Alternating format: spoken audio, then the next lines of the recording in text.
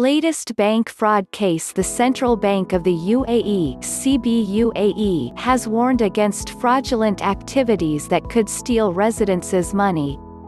The authority alerted the public to avoid responding to such calls, messages, and opening any hyperlink that may be attached, which may expose them to a malicious website, and instead inform authorities immediately. A total of 29 suspects concerned in a banking fraud were arrested in a prime operation achieved via the Abu Dhabi police in cooperation with both the Dubai and Ajman police.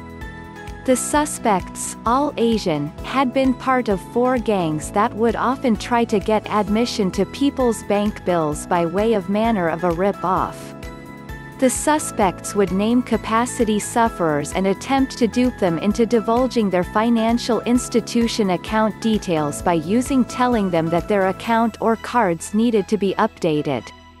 The latest bust is one of several that have been carried out this year targeting banking fraud gangs.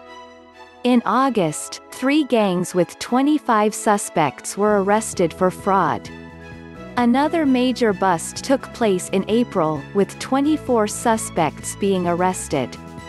The public should be aware that CBUAE never conducts phone calls unless a consumer complaint has been logged through the right channels with a reference number or uses social media to contact individuals or businesses. Any suspected fraud phone call should be reported to the respective authorities.